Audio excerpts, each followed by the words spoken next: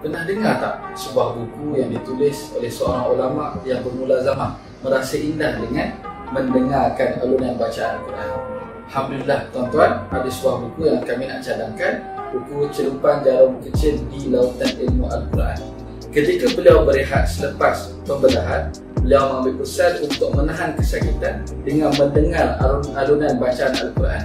Alhamdulillah hasilnya, selepas beliau sihat, beliau menulis buku ini dan menyerahkan manuskrip kepada setiap akbar beliau iaitu selepas beliau keluar daripada IJN.